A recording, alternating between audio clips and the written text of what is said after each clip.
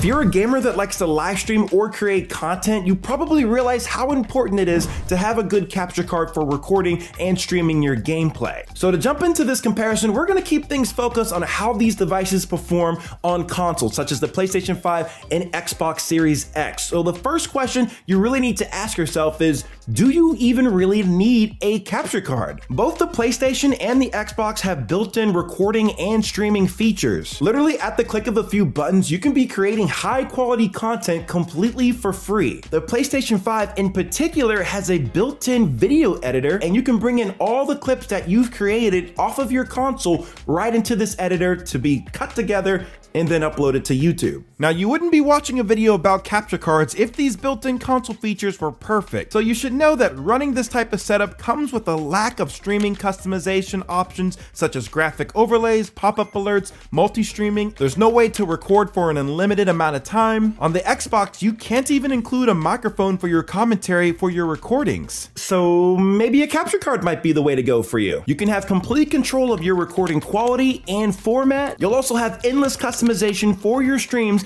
using programs like OBS, Streamlabs Desktop, or Prism Live Studio. Those programs that I mentioned are completely free to download so that you can record and live stream your video content to places like Twitch, YouTube, and Facebook completely for free. As for some cons using a capture card setup, you're gonna be spending at least around $500 or more for a decent laptop or computer setup to run the capture card with your desired software. There's also gonna be a learning curve for setting up the capture card and configuring the software, and you're also gonna have a greater likelihood of having to deal with more technical difficulties. So now at this point, that should give you a better idea for whether or not you wanna go the console features route or the custom capture card direction. So how about about we compare seven different capture cards up against each other and watch until the end so you see which one is the winner. Up first, we have a generic USB HDMI capture card, and this little device is going to run you between 5 and $20 depending on the one that you get. Next, we have the AverMedia Live Gamer Extreme 3 capture card, and this device will run you between 140 and $170. We also have the Cloner Alliance UHD Pro,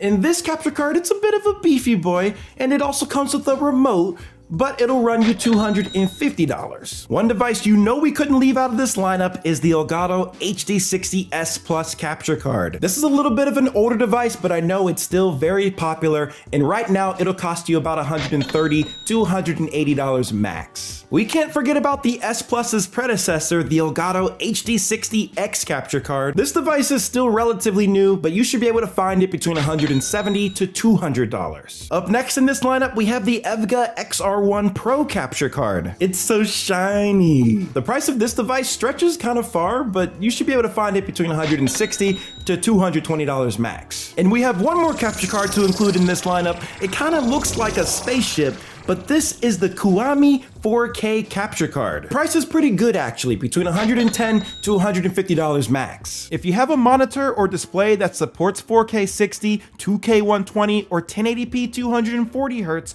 you'll be able to play your games in that resolution with the AverMedia, the Elgato HD60X, the Kuami, or the EVGA capture cards. For the generic USB capture card, the Cloner Alliance, the Elgato HD60S Plus, you'll be able to play your games up to a 60Hz refresh rate. What about passing 4K 120? Well, there aren't any capture cards currently that can do that. We're just not there yet, guys. As for capture resolutions, it's a bit more straightforward as all these capture cards can record in 4K 30 or 1080p 60 as long as you're passing through that quality or higher. One amazing thing about all of these capture cards is that they all have UVC support, which essentially means that they're going to be plug and play in your Mac, Windows, or Linux computer without having to download any specific drivers or software to get them to work. For capture cards like the Elgato HD60X or the S Plus, Elgato actually has their own software that you can download for recording your gameplay. But there's a little caveat to this, and it mainly affects Mac OS users. On the Elgato downloads page, you'll find that the S Plus capture card can be used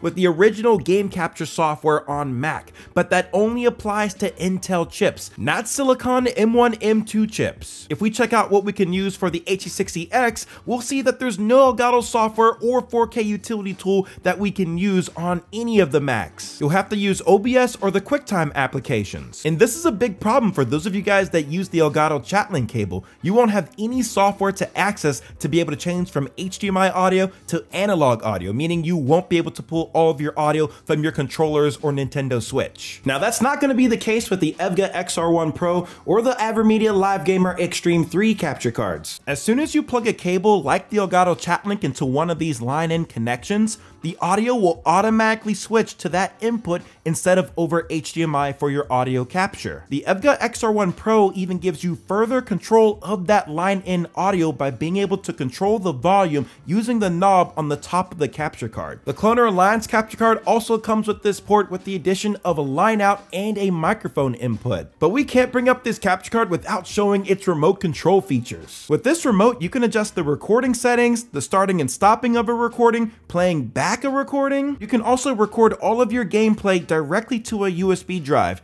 though I would have preferred an SD card instead, but this is still a really unique feature. Now switching over to the Kiwami capture card, it looks like it offers that line in input, but it's actually just a line out port and a microphone input. So the Chatlink won't work with this device, but something that makes up for it is the fact that it can bypass HDCP on the PlayStation 5 and PlayStation 4. This was crazy when I was testing this, but I could disable this and then jump into applications such as YouTube, Netflix, even hook up my cable box, Fire Stick. Pretty unreal, and this capture card is a lot less annoying to deal with than the others. That also applies to the generic USB HDMI capture card, but the thing is with this device, you are gonna need to pick up an HDMI splitter that allows one input in and then two HDMIs out so that you can record to this device, but also draw it to your television or your display. I have a USB powered splitter from Techole that I use. I can pass up the 4K 60 using this device, and it's been very reliable. I really don't recommend recommend you guys using a device like this without the splitter because you're going to be playing your game right off the preview and you really, really, really don't want to do that. There's a natural delay that occurs whenever your video signal is passing through the capture card to your computer. Most of the new capture cards today fall between about 30 to 60 milliseconds of input latency. The HD60X capture card highly excels at this as it has probably one of the lowest input latencies out there to get it as real time as possible to the the preview, but it's still not zero, so play off your display and not the preview. Now, one thing we just couldn't leave out in this video was a video picture quality comparison. For this test, we're gonna be using the same recording settings across all of the capture cards without any filters, effects, or any sort of added changes to the image. Matching up the capture cards in this lineup against the popular Elgato HD60X, we can see that the image qualities match up pretty well with one another. There were some slight differences that I did notice especially with the HD60X and EVGA capture cards where the video picture was a tad bit darker than the others. This isn't anything major that can't be improved with applying some filters within OBS. With the generic USB capture card, it was on the other end of the spectrum with a much brighter and contrasted image than the other capture cards. Let me know in the comment section down below if you have a preference for which capture card image you think looks the best. So now, drumroll please, we need to give out our first, second, third place medals for this ultimate capture card showdown. Coming in at 7th place, we have the Elgato HD60S Plus, and this might come as a surprise for some of you guys, but the features that this capture card offers in today's market are just too expensive. With it only being able to pass a 60Hz refresh rate, you might as well pay a little bit more and get the Elgato HD60X, and you'll be able to pass through 120Hz and a variable refresh rate. For 6th place, we're giving it to the Cloner Alliance UHD Pro. You can use this device without a computer to record your gameplay, and it comes with a remote control for easy use. But the reason it comes in so low on this list is because of how expensive the device is for the features that it offers. You should be able to pass over a 60Hz refresh rate, but that's not the case. I feel like this is also the perfect kind of device to record your cable box, but that won't be possible without the use of an HDMI splitter to strip the HDCP away. Coming in at 5th place, we have the generic HDMI USB capture card. This device is so cheap and affordable for what you get. It works with USB 2.0, which makes it super compatible with a variety of different ports you might use. If you're someone out there that's looking at picking up the Elgato Camlink, this is the perfect alternative as it's so affordable and literally does the exact same thing. But some things that aren't so great here is that you will need a one in two out HDMI splitter so that you can record your gameplay and also see it on your TV or monitor. There's no line in audio option. You can only pass up to a 60 hertz refresh rate and you can't record in 4K. Coming in at fourth place, we have the Kuami 4K capture card. This thing is great for the price, especially since it can pass 120 hertz. The main drawback to this device is that it doesn't have a line-in audio option for the Chatlink users. Now it's time to give out our third place medal, and that's going to the Elgato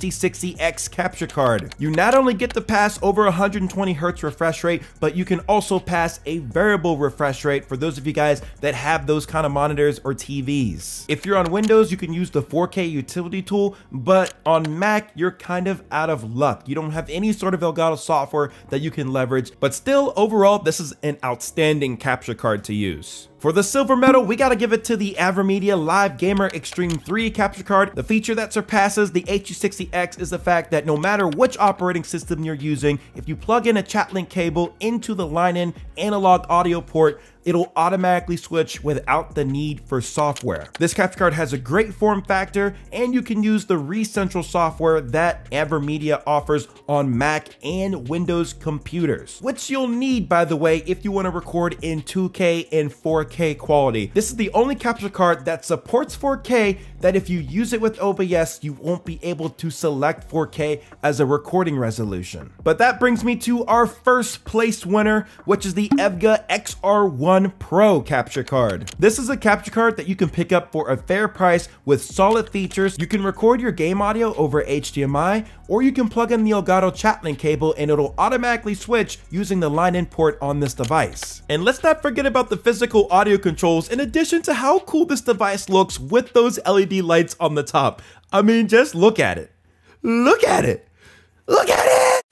Let me know what you guys think of the results in the comment section below. Is there a particular capture card that you're using that I didn't mention in this video? Remember, even without a capture card, you guys still have the ability to record content and stream. Don't forget about those built-in console features that I mentioned in the beginning of the video. I still use those myself today. Not so much the streaming stuff, but the recording aspects, as you can get highlight moment gameplay clips at the single click of a button. It's so convenient. So whether or not you have a capture card or you don't, it's kind of fun, honestly, to use a combination of both. Hit the like button if you enjoyed the video, subscribe to the channel if you're new around here. I'll see y'all in the next one.